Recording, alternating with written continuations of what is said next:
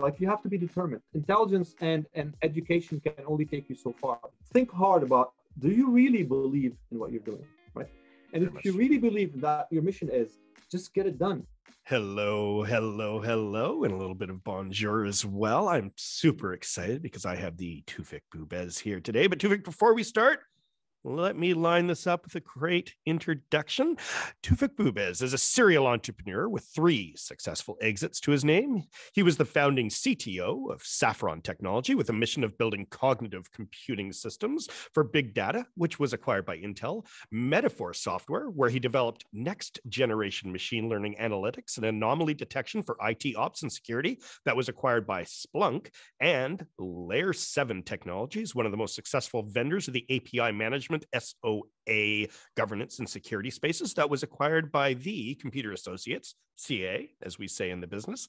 Prior, Toufic was the chief architect for SOA at IBM's software group and the chief architect for IBM's web services tools. He holds a BSc and master's of electrical engineering degrees from McGill and a PhD of biomedical engineering from Rutgers. Toufic is currently the CTO and CPO at MacroHealth, helping to create intelligent healthcare markets. Toufic, thank you so much for joining me today. It's a pleasure. Thank you so much, Chris. I've listened to your podcast before and I, I'm just so excited and thrilled to be here. Oh my gosh, you're going to see me blush. Those those listening to the podcast won't see me blush, but those who see it here, they, they know I am blushing. Well, you know, let's let's start with where you are currently at um, MacroHealth. Tell me about your current role at MacroHealth, please. Yeah, so I'm uh, the CTO and the Chief Product Officer at MacroHealth. Uh, so I run both, as you can imagine, the CTO, the engineering, architecture, the technology part of, of, the, of the company. And then as a CPO, I run anything to do with product management, PMO, and all that kind of stuff. So anything to do with building product uh, it's kind of my role. And of course, as you know, uh, uh, I always think of being an executive as also part of driving the culture of the company. So I feel that part of my role, part of the role of any senior executive or anybody for that matter, the company is help drive a good, healthy uh, culture in the company. So that's kind of my role um, at MacroHealth. Cool. And can you tell me what MacroHealth does for those who don't, who aren't uh, aware? Yes, of course. Uh, so for in order to do that, I will probably have to step back and talk a little bit about the U.S. healthcare system. So MacroHealth um, actually helps uh, drive down the cost of healthcare in the U.S. and that has repercussions over everybody, millions of people uh, mm-hmm. in the U.S. As you know, healthcare costs in the U.S. are are huge and escalating. They were they're over four trillion dollars, like with a T, uh, oh, yeah. this year, and and growing, right? So, and, and the way it works in the US is, is relatively complex. There are, I would say, three major uh, roles or, or, or categories of players in, in that ecosystem. It's not a single payer, as we have, say, in Canada and some mm-hmm. other countries. It is an actual competitive marketplace. So you have what millions of what we call providers. These are uh, hospitals, clinics, you know, doctors, and so on. And these are providers that provide healthcare services. And then you have, you know, thousands of payers as opposed to having a single payer like we have. You have insurance companies, you have governments, state level, local. You have companies who uh, take on the, the, the responsibilities themselves. They, you know, if you have if you're a large company, you want to take. So these are the payers, but they don't really talk directly to each other. There's like a middle layer in between them that kind of gates all the claims. It all works on claims. So you go to hospital, God forbid, you know, generates a claim. That claim, like $100,000, goes to your insurance company, to whoever's paying that claim. They send it through a whole bunch of different um, uh, checks and balances and so on. And it goes through some kind of this middle layer. Mm-hmm. Uh, and that middle layer actually will look at that claim and say, oh, it's this, you know, hospital in Hawaii. We have some kind of agreement with the hospital in Hawaii, volume based. So we you get a discount. So your mm. insurance mm-hmm. company pays a lower rate. So we are actually all that is done right now with like, you know, uh, string and sealing wax and scotch tape and Excel mm-hmm. spreadsheets, right? And, mm-hmm. and people doing email and faxing stuff, right? What we're building at MacroHealth is actually a, a cloud-based modern marketplace for all that stuff to happen so that you know you can send your claims one way and there's whole bunch of machine learning and intelligence into that marketplace that decides where that claim could go, what kind of optimization, and so on. So we're reducing significantly the cost of healthcare that way, and has impact on people's lives. I mean, you know, one of our one of our recent customers, you know, they they lowered what happens is that they lower the cost of healthcare, they lower cost insurance, which means people, employees in that company, for example, pay a lot less for the healthcare. You know, so it has impact everywhere, but it's uh, it's really really cool technology. So other than the, the impact on people's lives, it's a really cool technology, technology, right? Sorry, long, long, long. No, uh, that's fantastic. But it's a really complex system. you know what? Into it if we need a long explanation to, to improve people's health care and outcomes from healthcare and and also making sure that those who are sick have money left in their pocketbooks especially for our exactly. american cousins exactly. um, i think that's wonderful i mean one of our clients uh, personally is actually the american medical association i know that's one of their missions and we do some projects around that but i also understand from what you're saying you know it's a it's a marketplace and you know there's the payers and then there's the the hospitals but there's also the insurance in between and if you could be that layer of knowledge in between and then you know kind of remove the friction uh, that is what costs are um, exactly. that sounds like an excellent mission well you know you're talking about layers you, you, you said it a lot less words than i did you, you're a pro uh, you know what? I just blah blah. I just blah blah. That's all I do. But I really, really respect and, and, appreciate your mission, and I, and I, I think there's huge Thank upside. You. And again, if you can make these things frictionless, right? You capture the the the the, exactly. the everyone wins that's the that's exactly. the thing that people understand exactly everyone right. wins by making it more efficient you're capturing um, you know a big share of the market yourself too which is which is which is awesome Absolutely. well we're talking about layers uh, you know and yes. i had to look up you know the second i saw layer seven. Okay, that's got to be an OSI thing. Like, it, you know, I went back to my computer engineering way oh, back in the oh, old, you. you. know, graphs to see. Yeah, no, that's the last layer. I actually debated that there were eight layers, which shows, wow, it's been 25 years since there. Um, I, you know, I had lots of friends working at uh, layer seven, and I know the company really, really well. Um, so wow. tell me, what's the creation story of layer seven? Ah, so um, the this is a long story, another long story. That's so perfect. We got in. time. you know, I got my team. Uh, okay, good. So again, I you know you can tell I'm an engineer, right? You can tell mm-hmm. you know I, I like to set things up properly before I jump into it. So in order to talk about layer seven and the seven layers of the OSI stack, as you correctly pointed out, which we can talk a little bit later about, you know, I need to step back and talk about, you know, kind of make sure we talk about the concept of service-oriented architecture. And uh, I don't know how, I'm not sure how familiar you are with the concept. And, and I don't mean that in any disrespectful way. No, no, no. But, you know, and at least in general, if we go back to the early 2000s, um, there was a move away from building software in these relatively large chunks.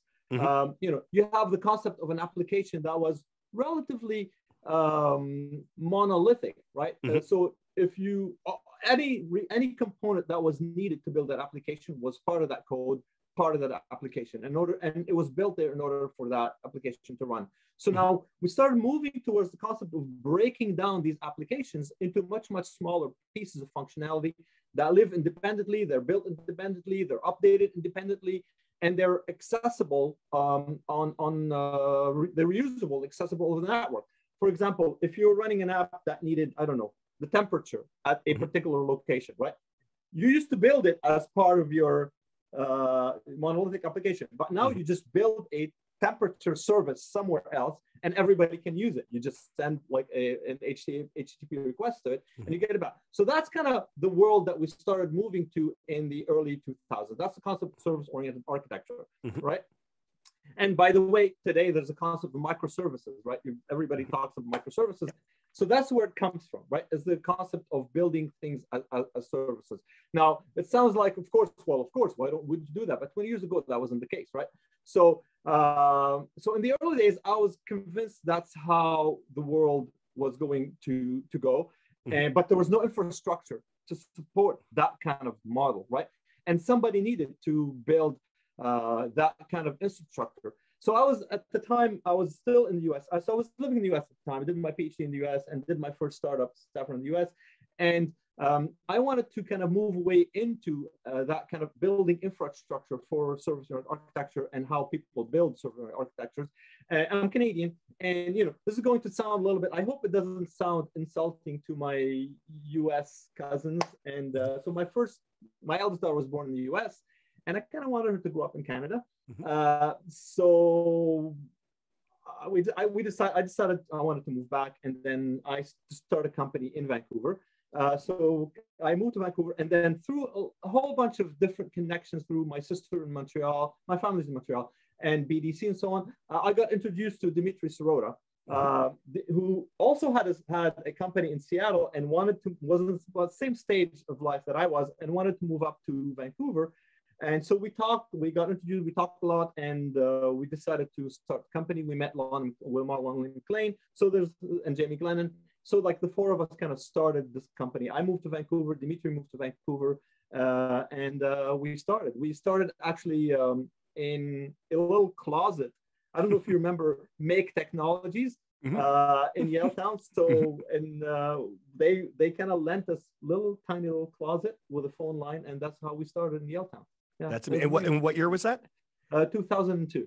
2002 so this is this is not an overnight success people this is a company that you build yeah you build and yeah. build and build built built yeah built to you know a really great exit i think uh uh, it was you know it was an awesome exit for everybody involved like mm-hmm. i think mm-hmm. business in bc or bc business i think called it the largest tech exit um, in, in a decade right you know it, so it was a really was big significant exit.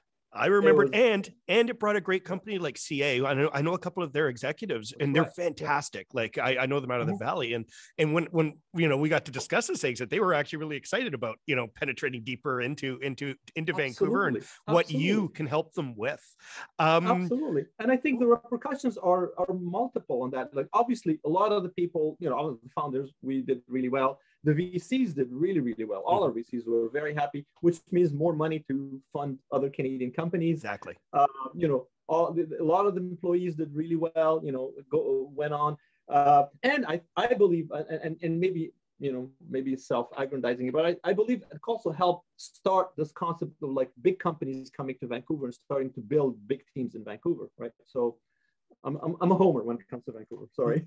no, it's it's and it's one and it's wonderful, and I and I 100 percent agree. I mean, you look at like markets like in, in Ontario or in you know Ottawa with with, with mm-hmm. Shopify and mm-hmm. all that, and you have you know some liquidity events, and yeah. what that builds for the community is is is is like a 10x for what that builds just for the founders half the time, especially because like yourself, you don't probably need to work if you don't want to, maybe, uh, but at the end of the day, you got to learn you've learned a lot and it's a oh, bug oh, yeah. right? Like it's a virus. You want to oh, continue oh, absolutely. creating. I, I, exactly. I want to say i need to work because i you know people ask me what are you going to do when you retire? I'm like work I give my wife the same answer. She hates it. She hates it. But know, right? there's there's too yeah. many problems in the world to solve, right? And you know what, what this allows you to do is do a little more risk and work on big problems like the like what you're doing in the states. Exactly. So exactly. that's that's fantastic. Well, you know, well, let's talk a little bit more. I mean, um, you know, you, have come back up to Canada with with uh, with Layer Seven, but what about Metafor Software? Can you can you share the uh, the creation yeah, story of that of for course. me, please? Yeah, no, of course. Uh, so as you know, talks about started talks about layer seven getting acquired, and we start talking to companies about acquisitions and so on. Uh, the reality is, um, I didn't want to be part of like a big company and like be no disrespect again that's not me right mm-hmm. um, I, I and i had a whole bunch of ideas that i wanted to to to look at so i, I i'm a very hands-on cto right so I was always traveling with my salespeople, talking to our customers, going into their data centers and so on. And then I started seeing early on kind of the move. Uh, we're talking about 2008, 2009, the move from like large data centers to the cloud, mm-hmm. and all the pain that it that it brought, like that, that that it brought into it. You have these security and operations people in these big data centers that are overwhelmed by the amount of data that they're getting, by the amount of alerts. We had a name for it, which is called uh, alert fatigue you know? You're looking at your screen you come in and you're like it's scrolling with alerts because you've got like docker and this and that and you're going up and down all that kind of stuff and you hmm. don't know what's real anymore. So what happens is tend to ignore it. So um, and people lose their jobs companies tank. There's so many examples on campus because they ignored various alerts right? Mm-hmm. and so um, but the monitoring systems that were in place at the time were very old school. They were like rule based they were mm-hmm. threshold based. There was no intelligence in them at all, so they mm-hmm. couldn't detect anything, right? So, uh, so I was having these ideas about like how do you build with my background in machine learning and, and intelligent systems like how do you build intelligence into this mm-hmm. but in real time streaming right uh, model which is the model so So that's kind of what I wanted to do. So I left and I started Metafor with actually uh, Jenny Yang from BDC, who mm-hmm. also mm-hmm. left BDC to because she's she used to joke that you know she was on the other side of the VC uh, table. She mm-hmm. wanted to get her hands in actually operationally and build a company. And uh, and Jenny and I were good friends. We're very good friends. Um, and so we decided to start the company together. And we uh, yeah, and that's kind of where it led to. We started again in Vancouver, built it up uh, to be this kind of prime uh, machine learning platform for streaming, real-time analytics, security, operations, that kind of stuff. Cool. And and and can you tell me a little bit about the exit of that company then? Yeah. So um, we we wanted we wanted a partnership with Splunk. So Splunk is the premier premier company in log analytics, right? Mm-hmm. So every, everybody I talked to was using Splunk in those days to do look at their log um, and other logs, right? But what they didn't have, they didn't have an intelligence platform, machine learning platform, and they didn't have real streaming analytics. It was mm-hmm. all search index based, right? So we decided to partner with them. So we went to talk to Splunk, and I went down San Francisco and presented. Uh, we got introduced through our VCs to them in San Francisco. Went down, talked to them a little bit, um, and uh, they liked what we had. They put us through our, like a whole bunch of bake-offs, and they sent us data, and we performed really well. Mm-hmm. And they said, "Well, we want to participate." We were looking at our next round. Uh, mm-hmm. They said, "We want to come in as a strategic um, on your round." We said, "Fine." Uh, so they started looking to and then some all of a sudden said like, actually no, we're gonna acquire the company. so the okay. exit was really really good. Yeah, was, yeah. So so one of the things here again, being a, a homer for Vancouver, one of the one of the things that I was really adamant about is that uh, they leave the team in Vancouver, right? Fantastic. And they start building. So Splunk, that was they had never done that before because they were only San Francisco based in terms of uh, tech they had some operations in, you know, in Plano, Texas, and a couple other places, but all their tech was in San Francisco at the time. Um, and they said, okay. Um, and it was great. So we went from like 20 people when when we got acquired to like I think I don't know maybe a couple hundred people now mm-hmm. Splunk has in Vancouver built. Uh, so I built two offices for them. I built the Homer Street office, and then when we outgrew that office, we moved to 555 Robson uh, the old TELUS building. Yep. And they had, we, had, we they had two floors. We built two floors for them there. So it was a really good success story. Again, everybody was happy. Multiple X's. I don't want to say like 10, 15X for the VCs, but again, another like huge multiple for the VCs but that, involved. But, but that's awesome. And you know what? You did them a favor, that being Splunk, not not the VCs here. I'm sure you yeah. did a favor for them too, but you did yeah, oh, Splunk oh, yeah. a favor by recognizing the opportunity of being here, and um, you know Absolutely. that's that's that's a that's a real win, especially when you have you know this many people working uh, working for them, and it's a, a great name too. I mean, obviously, and a, a fun one to say. Um, well, know. you know what? We've got through two great companies. Let's go. Let's go for a third. Let's roll the dice then. Okay, Saffron Technology, one of my favorite spices. Saffron oh, Technology. Oh, Tell me about that yeah, saffron. Well, it's interesting. The name comes because you know, if you know about the spice, it only takes a little bit to flavor a whole dish. Oh, yeah. Right? So we, so we are like, saffron only takes a little bit to, uh, um, to, to, to, to add a lot of intelligence to, uh, to that. So, uh, saffron was my first startup. I was still in the US at the time. I was at IBM. Great. Mm-hmm. I had a great time at IBM. Uh, but I was very interested in machine learning due to my background. My PhD was in machine learning before it was a buzzword or it was cool, you know. uh, and it was math and statistics at the time, and and some neurophysiology. So actually, uh, just as an aside, I had to pass like my oral exams, not just in engineering, but actually in neuroscience, which is wow. you know another story uh, in biomed. But you know, so I was living in the US. I had some friends at IBM who were, who were also interested in that whole machine learning concept and intelligence, intelligent agents at the time. Um, and one of my friends, Manny Aparicio, had good contacts into the intelligence community. Um, and uh, and as it happens, kind of the intelligence community in those days was the only one that had big data before mm-hmm. big data was a thing, and needed machine learning, quote unquote, before machine learning was a was a thing mm-hmm. either, right? And so, and they had really interesting problems. So, kind of Manny and, and Jim left, and then I left shortly after IBM, and we started Saffron. And the goal was to build this kind of intelligent agent technology where um, you can actually amass huge quantities of data. Like we're talking huge quantities of data. You can imagine what the NSA and all those guys have in terms of uh, data, uh, and then sort through it and find like the nuggets, the needles in that haystack mm-hmm. through associations. So we had a whole bunch of patents around building associative memories and how you go through data and how you organize it and how you have like a learning intelligence uh, that, that can kind of build, pull out these kind of needles.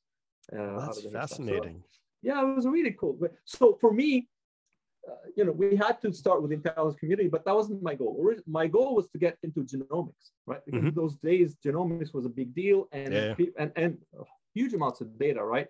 And trying to find these combinations and these kind of like uh, you know genes that were maybe uh, indicator of some kind of uh, you know early on indicators of disease things like that. that was kind of the goal for me as I was building the technology, but it kind of never came to fruition, um, and that's another story, right? But yeah, that's kind of what we were building. Really, well, cool I dig stuff. it. I dig. It. I mean, that's super cool. And what year? What year was that? Just so I can get context 2000. around. Uh, 2000. I mean, 2000. So I mean, the models yeah. then compared to now, in in, oh, in terms yeah. of what you can oh, do, um, oh night and day, yeah, night and day. Was, there was no SageMaker, and there was there was no you know uh there was no google like to build these things it was we had to build everything by hand Wow, wow, yeah. that's I mean that's that's super cool. Well, what's what's the difference in between building a company in the in the states and building it in Canada?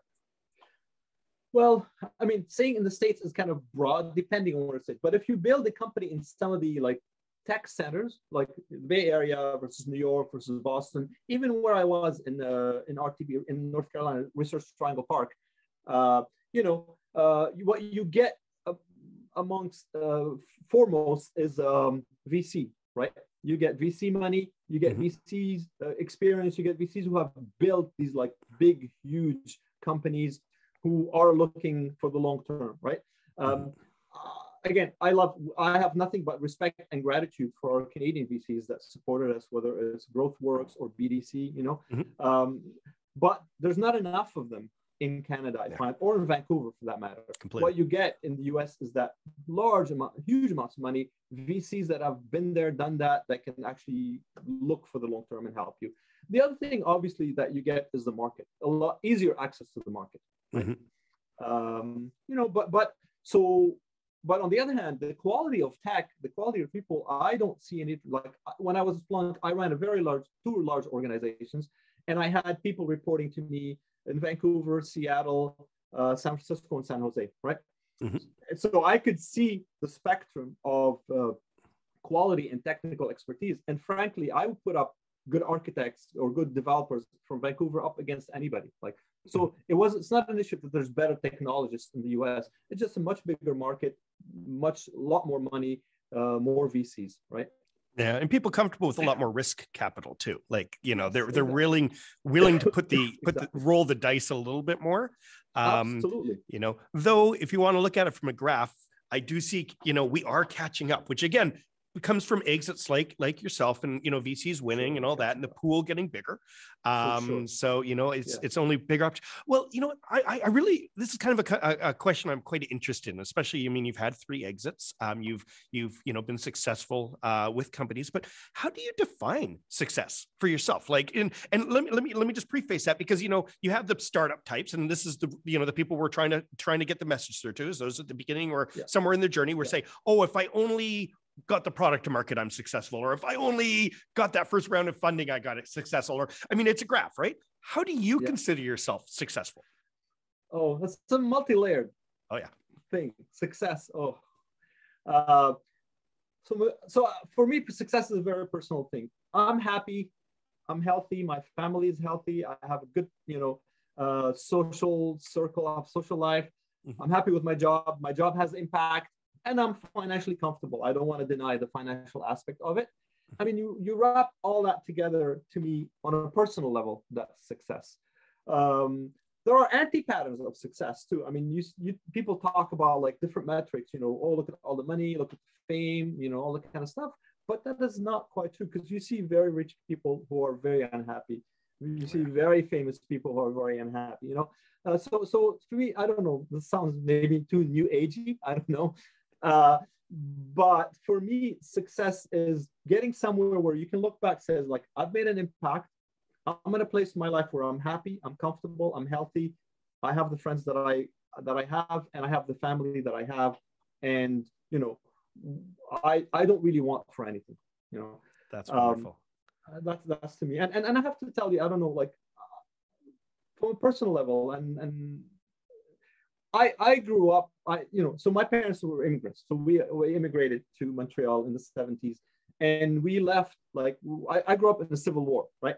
So mm. my threshold is very very different than mm. most people on what happiness is, what success is, what security is, right? For sure. So um, so for me, this these kind of things like family, health, you know, comfort are very very important, very good metrics of success. I love that. I love that. That's you know it's it's not only is it hard to disagree with but it's something that i think people should be aiming for not just in their startup but in a more being around human beings around it you know in your which life, is you know which is which is which is great. Well you know one thing that i really really really appreciate is i, I shared you know some of the questions i thought we were going to talk about um, and you came back with with with something that you said was personally important to you and i and and i'm i'm saying it this way because I'm really glad this is personally important to you because I think it should be. Um, but what you wanted to talk about is some of the women in tech events that you sponsor, oh, or you're, you're, you're, you're yes. it's very important to you. Why, why is um, this important to you? Why, why is this? Why is women in tech um, necessary to be yeah. supported? Yeah, yeah, absolutely. So I'll tell you why it's not. What people think, I have three daughters, right? Think, okay. oh, you know, you have three daughters. So of course you're interested in advancing. I'm saying no. That's actually I find it maybe a little bit even insulting sometimes, you know, mm-hmm. because you don't have to be a woman. You don't have to have daughters to be interested in, in equality, right? Nope. So so I'll tell you why why that's not the reason why um, because a lot of people that they jump to that conclusion right away. Uh, but you know, I was always um, I always find it puzzling that uh, the lack of women representation in engineering and the technical fields was very puzzling to me always. I remember when I was at McGill in my uh, engineering class, in my graduating class, I think there were like maybe six or seven women out of like a hundred. It's a lot better now. Oh yeah, yeah, but, yeah. but but to me that struck me at the time. I was like, what's going on? I, I didn't understand. Uh, and so, you know, and same everywhere I went, like at IBM, the same kind of deal. I had a really, really good friend, Maryann Hondo, who was like one of the best security tech, technical people I've ever met. With. I wrote a couple of papers with her, and she was on my team when we were doing uh, SOA, service architecture. But she was like a, an anomaly at IBM, right? Mm-hmm. And I was like, what's going on here? So when I finally got into a position where I actually make a concrete difference, I decided to start doing something about it. Um, you know, at Splunk, for example, so there's Katrina Reed, one of the VPs there. She's an amazing, amazing person. I love her mm-hmm. to death. Uh, uh, so Katrina and I sponsored, started the program, sponsored what's called the Women Technology Events, um, and, and, and, co-sponsored it at, uh, at Splunk.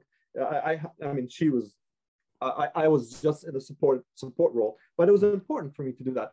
And then so when I since I was a site leader at in Vancouver, so ran a couple of women tech events uh, here with the help of uh, the BCTIA.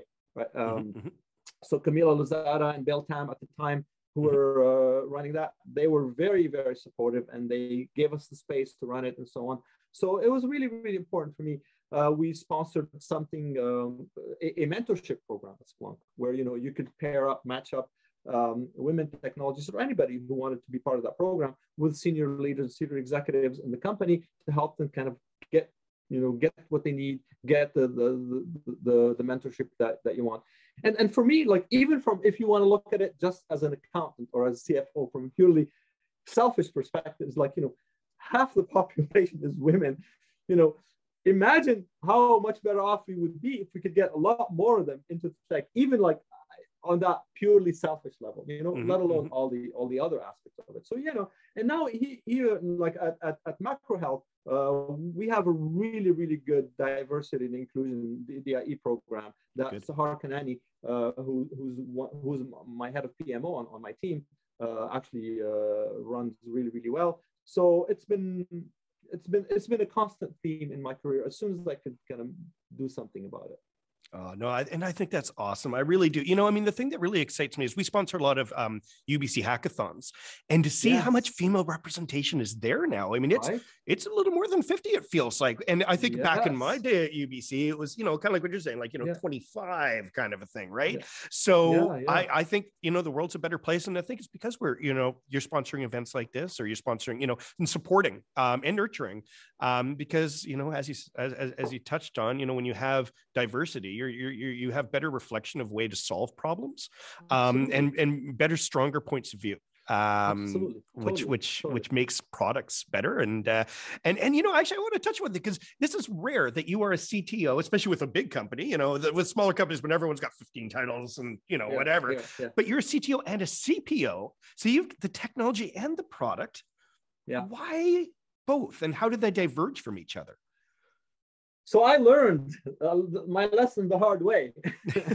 no, I've always, uh, because traditionally you see technology and engineering and product management at each other's throat. Mm-hmm. You know, I want this. Well, you can't have it. Well, it's important. Well, we don't have the resources, right? Mm-hmm, mm-hmm. And I saw that several times in my early days in my career.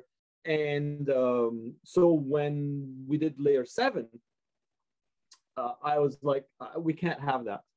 So even from the layer seven days, I like, we can't have that. I need, we need to have engineering, technology, and product management feel like they're on the same team, right? Mm-hmm. And at the end of the day, um, you can say all you want, but reporting structure is kind of important, right? Mm-hmm. So when you have your management team, you have product managers and engineering leaders sitting on the same team, feeling part of the same team, um, you, you, foster that kind of collaboration a lot, lot better, and you build better products and you understand each other. So I've always been a strong believer.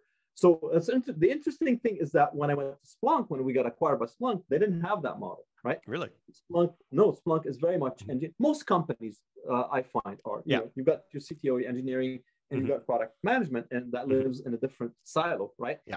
But you know, I uh, I prevailed on them to, Very to good. give me that model. So I had like product managers and engineering leaders reporting up to me into my org. And uh, I think we're all the better for it. It was a really, really good move, I believe. So when I wanted to do MacroHealth here, that was actually an important piece for me. Um, so product management, uh, you asked me, so how did I differ? Product management is about kind of what's what are the features of the product that are really important for our customers? Mm-hmm. and when do we need to get them out? And what's you know what's the market look like? All the kind of stuff. And th- those are a lot of times at odds with you know technical feasibility technical mm-hmm. possibilities resources and timelines right? On the engineering side. So when you have these two teams sitting separately they're going to argue. Mm-hmm and not in a good way. There's good mm-hmm. arguments, there's bad arguments, right? Mm-hmm. So having them be part of the same team kind of remove the bad arguments and only leaves mm-hmm. the good kind of collaborative arguments, right? That's kind That's, of how they differ.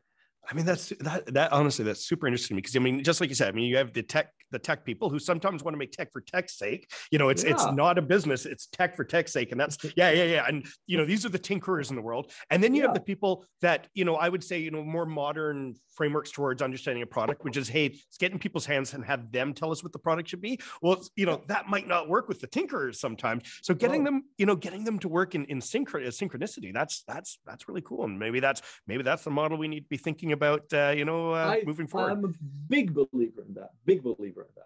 Oh, very cool, very cool. Well, you know what? It's a simple question for you because I know when I was young, you know, my my grandmother had, uh, you know, the old IBMs, and I got to actually it was a Tandy. Pardon me, it was a, a Radio Shack computer, and that's what got me into this world. The Trash yeah, 80, TRS TS, 80, TS 180. Yeah, yeah, yeah, yeah, yeah you know, I got to do lemonade stand from a magazine. I'd love doing it. You know, uh, it was it was what what yeah. really got my bugs going. I remember in the, the TRS-80, the trash oh, yeah, yeah. used to call it. Yeah, it, yeah. It, it, it, it awesome. okay. Oh, it's awesome. Don't don't get me wrong. I started on Commodore 64, so you know. I, I, I had the VIC 20 too. So VIC 20. Oh my god, no 20. way. The the, yeah. the, the tape the player version of that. The there you go. there you go. Yeah. But, but but tell me then, what what got you? What spiked your interest in technology?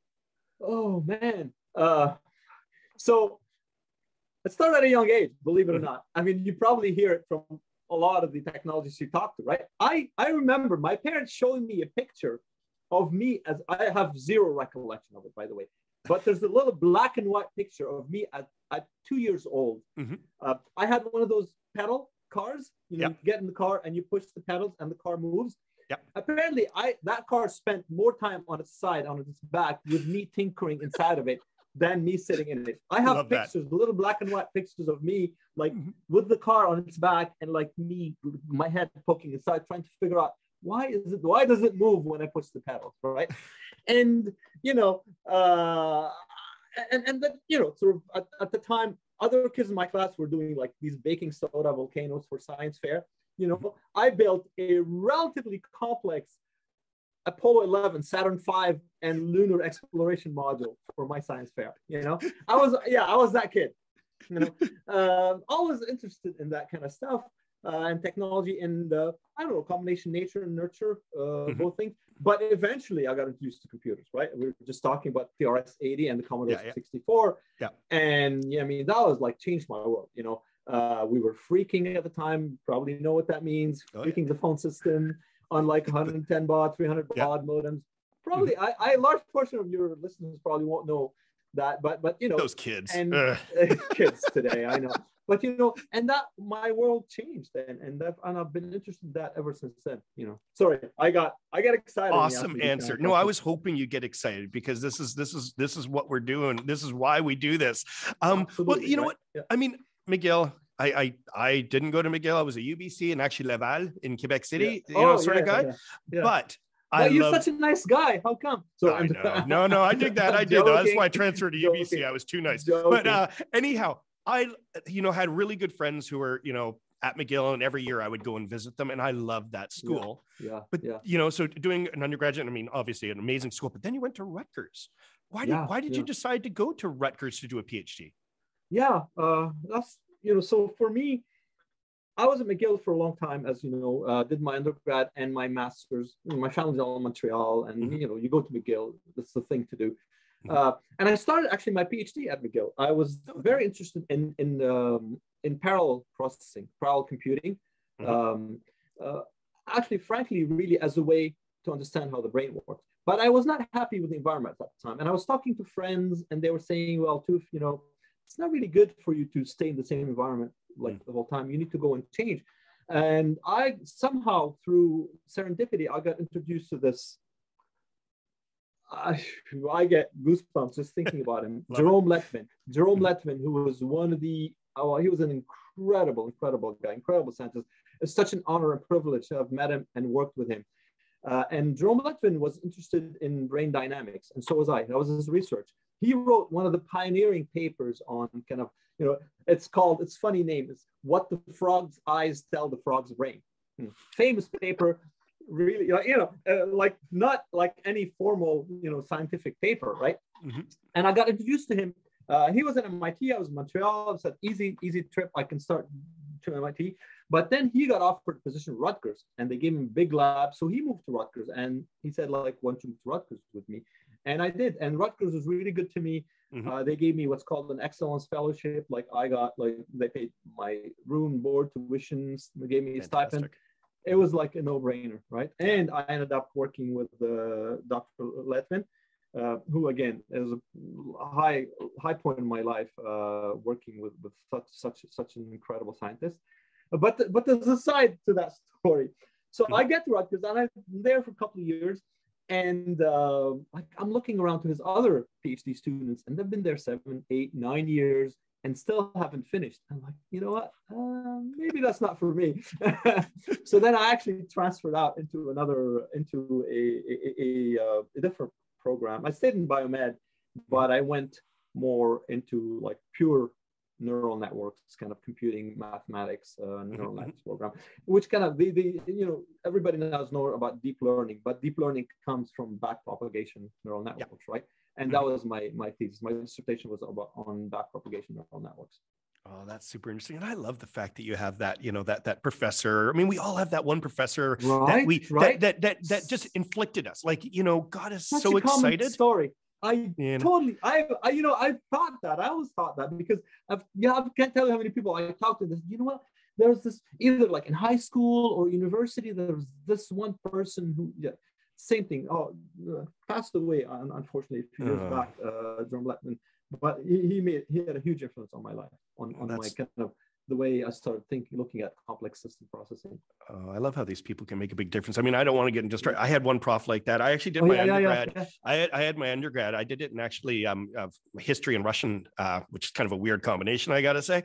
And I had one prof who was a retired diplomat from London, and he had to be like ninety something, but he oh had um, so he was an Oxford guy, and he moved, you know, to that. But his father was a diplomat, his uncle was a diplomat, and he he was the most like just blew my mind. But he had met Hitler Hitler. He had met like all of these people. You're just like, oh tell God. me about it. And what I loved yeah. about him was he made this the what every student thinks is simple real. Like for example, we're like, okay, um, we need to talk about, um, or sorry, a war breaks out in this country and you need to set in peacekeepers. What do you do? And everyone's like, well, you just set in peacekeepers. It's like, yeah, that country won't allow it to go over. This won't do this. This one, ha- you know, actually supports it. And you just go, oh, wow, these decisions are so hard, actually. It's a lot you more know? complex than I thought. yeah, but it made me excited about every class with him. And you know, right. I, would have to yeah. say I don't know if he's passed on, but he'd probably be 130 now. So I assume he oh probably he yeah, probably yeah. has. But you know what? I'm just that's, I, that's... I, just I hope that you and I, I and anyone else here can be that spark in someone else's life too. Exactly. You know? I love that. I love that. You know, uh, uh, and and for me, mentorship is really important. Speaking completely. of which, you know,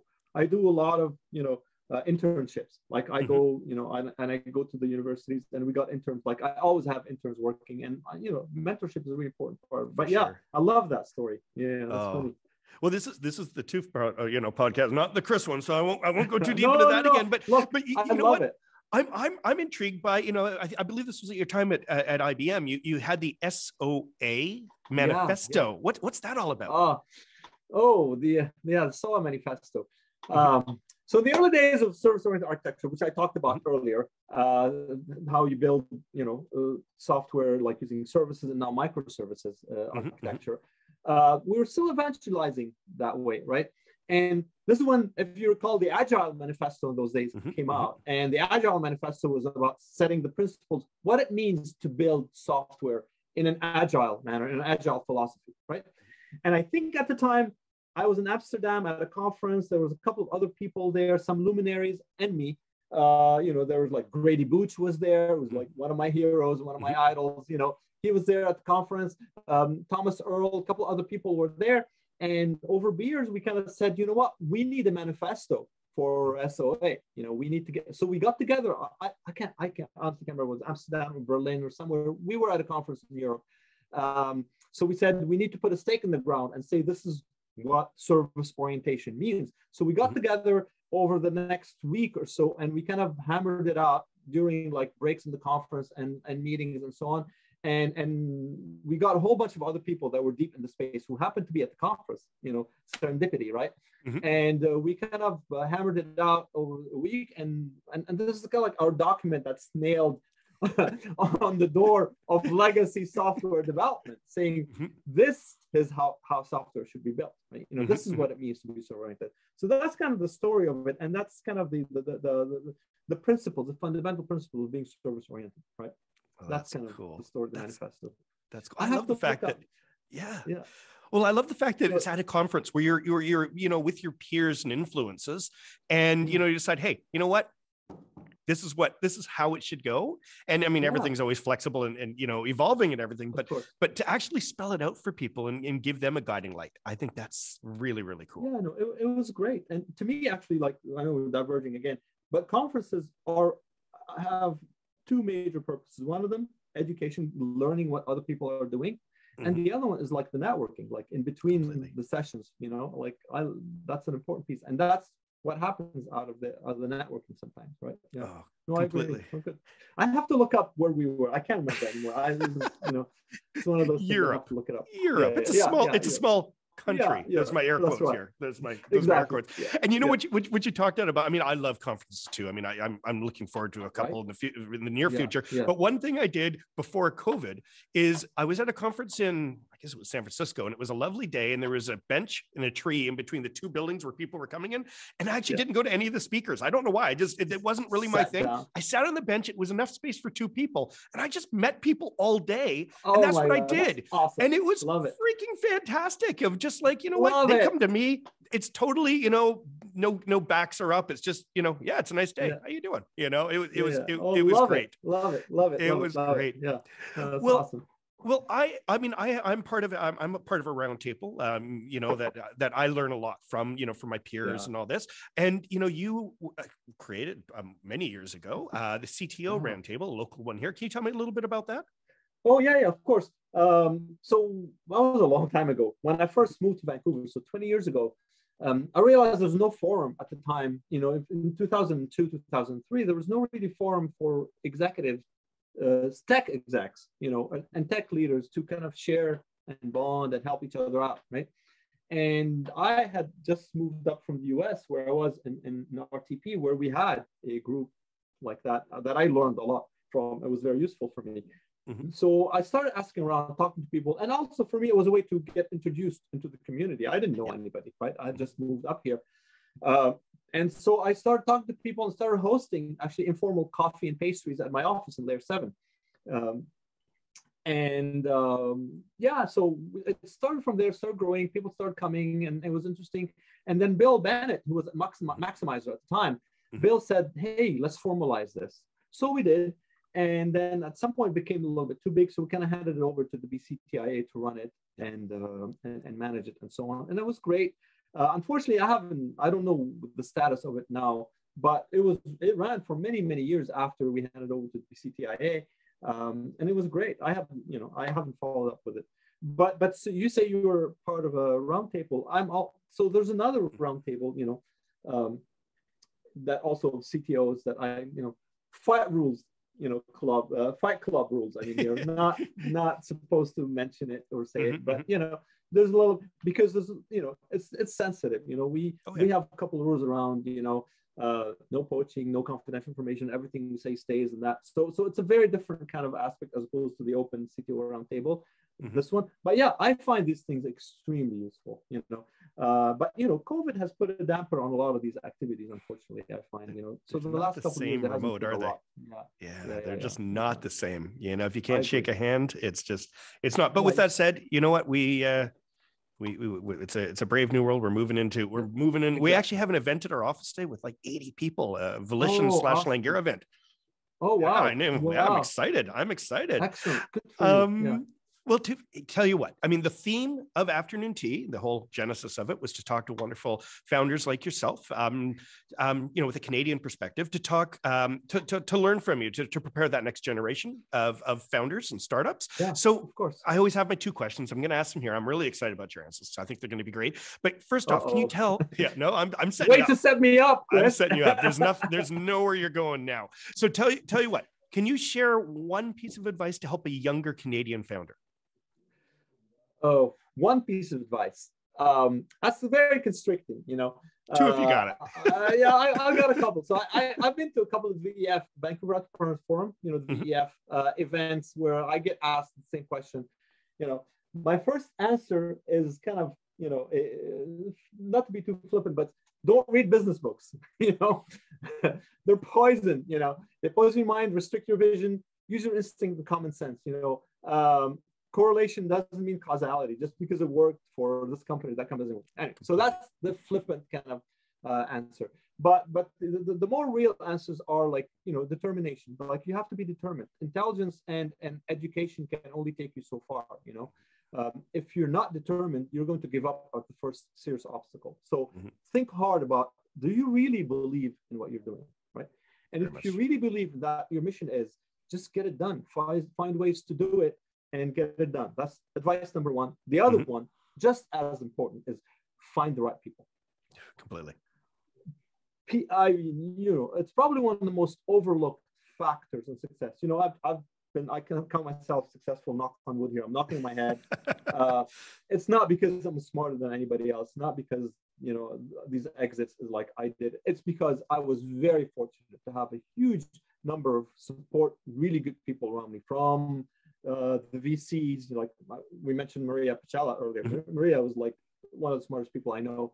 Uh, she is she was a strong believer in us you know at the beginning to the, the team that i joined so i have people who have worked with me um, at layer seven that worked with me at Metafor that worked with me at splunk like we have i have uh, i have this support group of people incredible people who are and, and with the right people i think you can do pretty much anything that you mm-hmm. want right so that's kind of really really important so uh, determination as opposed to intelligence and education and the mm-hmm. other one is just find the right people I have a lot more, but, but no, I'm, I'm, and I'm sure you do. I'm sure you do. But you know what? Yeah. These are gold. I mean, those two points of all are are, are gold. Uh, so I thank you for them. And, and you mentioned Maria, who is wonderful, and she was on one of the earlier uh, podcasts, yeah, she and she yeah. actually mentioned you in this context. So I'm gonna I'm gonna form the uh, question in the way, and and you know what? I'm gonna say you can't say Maria, though we love her and think she's wonderful.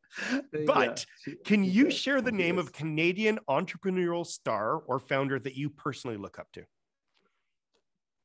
Yes. So this is where I might get controversial. Okay, that's fine. uh, you know, so I, for me, for somebody, I, I, would I will look for people who have changed the world, who have had mm-hmm. a big impact on the world, right? Mm-hmm. Canadians. Now, depending whether you count him as Canadian or not, I consider him to be Canadian. I look at somebody like Elon Musk. You know, if you put his antics aside, you know, you know, it's undeniable that he changed the world right? Completely. so completely. the way the way he just took on this huge problem you know what? I'm going to build a car company and it's going to be an electric car company. Mm-hmm. and people are like are you are you serious? You've never built cars before. You know what it takes to build a car? Look at gm ford like i don't mm-hmm. care. I'm going to do it right? That's among other things. He changed the world that way. Um, i'm going to give you another one. Like for Please. me being an old school kind of person uh, you know, uh, I, I, think of the early days of, of RIM, research in motion, you know, and look at, at like Michael Lazaridis, for example. Mm-hmm. Uh, for me, BlackBerry changed the world the same kind of way, right? You yep. know, um, and, and, and had a huge impact. Granted, Apple came after and like introduced the iPhone and changed the world again, you know. But for me, like the, the blackberry especially that blackberry pearl. Oh my god it was so good. Like mm-hmm. was was a, a game changer and set the stage for other companies to come you know. Uh, there's a lot there's a lot a lot. I mean well, we're for a small for a small population country like canada i think we have we punch above our weight. Completely. But if I were to pick two people in my mind that I look up to that changed the world, these are the two that I would and, and, and, very different people, but very, you know, hugely impactful. Yeah. And I, I, I want to actually thank you for mentioning Musk because no one's ever said him. And I've always wondered why, because I'm, I'm, I'm a big believer too. I mean, he did university, at least his first two years, uh, you know, yeah. here. And, yeah. and, you know, he's, he's definitely, I mean, he seems to only marry Canadians. So that, that keeps him in, in, in line there too. Um, but you know, you're going to edit that part out, right? Oh no, no, no. I'm going to, I'm going to, I'm going to have that highlight and included in there. Um, well, just like mom, you know, you, you whatever, right? Yeah, yeah, um, yeah. but oh man, well, you know what? this was so much fun, and I and I thank you for thank your you. time today. I really, really no, appreciate, appreciate, you sharing it. with us, and uh, and uh, you know, keep making big, big, solving big problems because uh, you, you're, you're doing great. I, I, I have to. It's, this is what keeps me going. I love it. And uh, thank you so much, Chris. This has been incredible. Is really, really good. I I look up to your to your show. I, as I said, I meant I watched, I listened to your podcast on my drives back and forth to Seattle, uh, and it's been really, really an honor. Thank you so much. I, I, tr- I truly, I truly appreciate it. You know, and uh, thank you.